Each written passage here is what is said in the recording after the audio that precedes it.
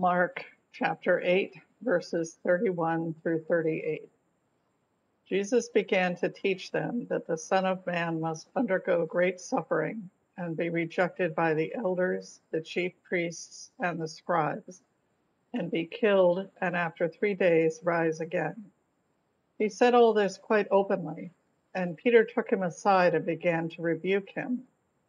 But turning and looking at his disciples, Jesus rebuked Peter and said, Get behind me, Satan, for you are setting your mind not on divine things, but on human things.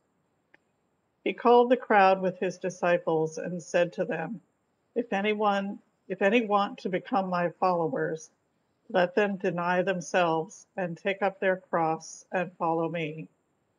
For those who want to save their life will lose it and those who lose their life for my sake and for the sake of the gospel will save it.